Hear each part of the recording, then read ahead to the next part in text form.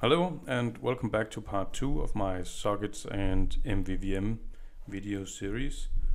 Um, so in the previous example or previous video, sorry, we saw the layered architecture and in this case we're going to apply it to an example. So one you already know. So this is the next part of the uh, video. I'm going to go through this part here, de developing the uh, UML, the class diagram, and then afterwards in part 3 we're going to code the example. So part 1 was all about introducing the layered architecture. And um, all right, so uh, first uh, current status, I have a local version. So this is the my, my GitHub, and this is where you can look at the code. So I'm not going to go through the code for this version. So maybe before you uh, continue the video, I'm just going to show you what the status is but afterwards you should probably pause and then make sure that you, you have some kind of basic understanding of uh, the, the starting point of my example here. So it's the um, to uppercase uh, program, which is, is, super simple. There is uh, one view where I can insert a string and click a button and then that's sent to the model and the model will change the string to uppercase and show it back in the view. I also keep track of all the requests made so I can see that in the log view. So I have my, my UML diagram here, fairly low detail, there's missing some stuff, but I have the important parts. Again, the general structure, our template to the MVVM with the core part, I have my views. I am going to have two views, so I have two packages for that. You may notice my view controller interface, um, something new I've been trying out, which can reduce the lines of code in my view handler a bit. Um, I have my model down here and my model is keeping track of, I have called them for lack of a better idea, I call it input output. So this one just uh, has the what string was sent to the model and what string was sent back again. So the two uppercase result here. So I just have a bunch of these in a list and that's basically my, my log, which can be seen over here. I have my util package with the subjects, meaning that the uh, model here is a subject so that we can listen to it from the view models up here. It's not currently used, but I may need it uh, later on. So let me just uh, run the program so you can see what it looks like. Hang on. All right, I have started my program. Here we go. So I can uh, insert some text, I can submit it and it's returned to me as uppercase. That's wonderful and I can submit something else submit it and that's also given back uppercase and uh, hello whatever. Okay and I can go to the log and it will show me the uh, requests I've made and the results. I can go back again and give it something new. Uh, something new that's uppercase I could go to the log and I see the the result here. So that's the the status. And it's currently just all running uh, locally. It's just one program so there's no client server stuff in it. So this is what I have put on github with my core and my model and my util and the views and um, also the SVG I wonder if I can open it here. Uh, there we go. So this is the class diagram. And in the second Maybe I shouldn't have opened that. And my second package, uh, here we go, socket uppercase. That's what we are going to, um, this is where I will put the, the new updated version um, with the client server part. All right, so um, back to the PowerPoint. There we go. Let me just find a laser pointer. Okay, so this is the, the current approach and I want to change this so that instead of my model here converting it to uppercase, doing my business logic and my I know my business logic in this case is super boring, but it's just a representation for whatever complicated business logic you could come up with. So instead of doing it on the client side, we want to do that on the server side. Maybe at some point in your semester project, you're going to need a database and do some business logic calculations, modifications, whatever, uh, on on the things you get out of the database. So we just take the functionality that is currently on the client side and we want to put that onto the uh, server side.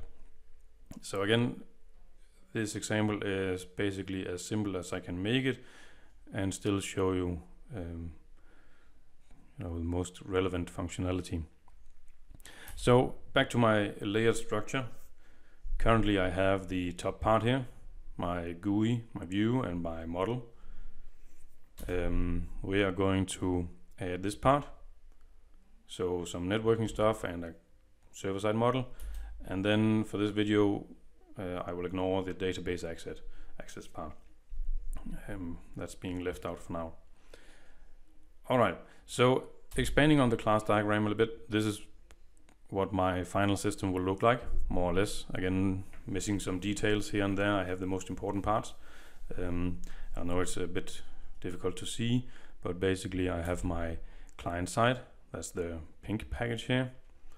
You may recognize the MVVM, the basic structure, my, my previous example, or you know the current one. And I have added an extra package, which is the client side networking. And then we have the server package down here. So this is where my server program is, is running with a server networking package and a model down here. And uh, I have some extra stuff over here.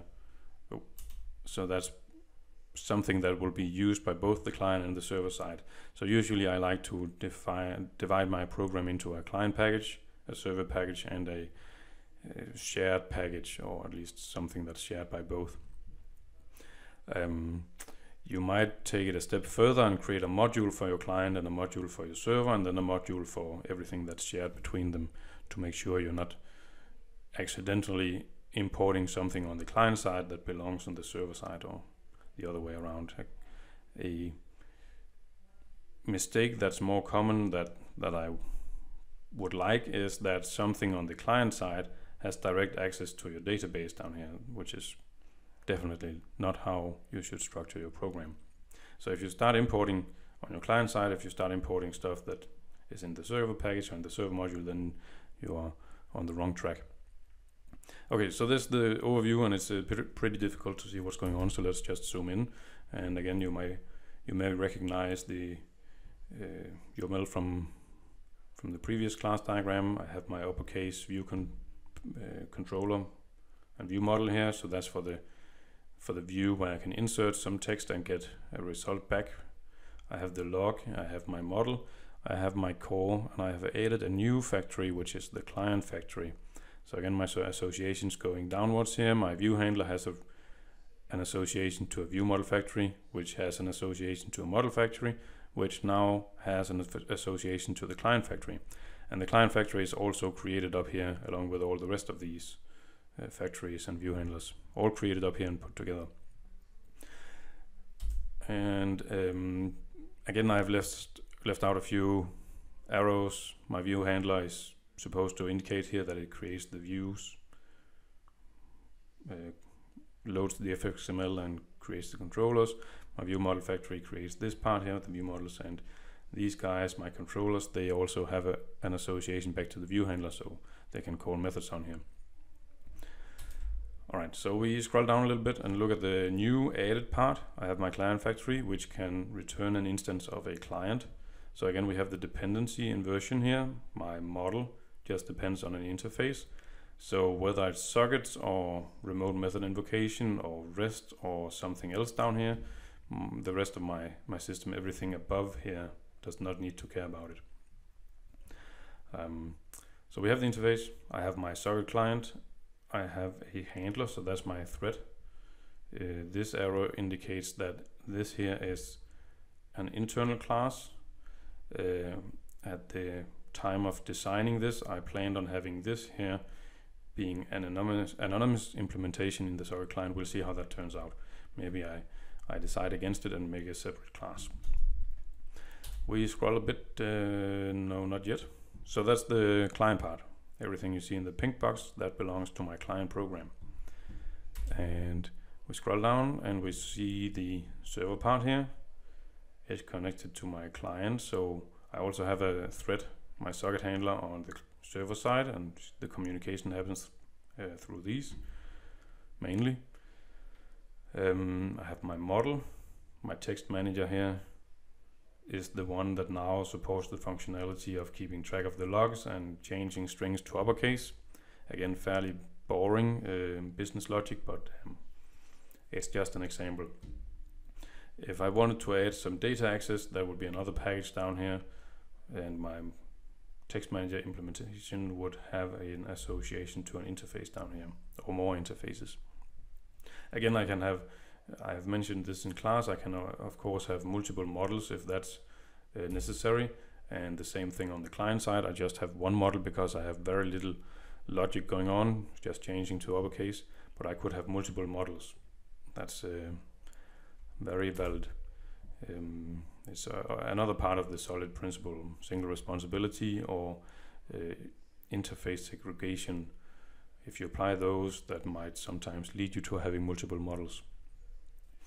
I have a package over here with my transfer objects. So those are the objects that I'm going to send back and forth across the network. And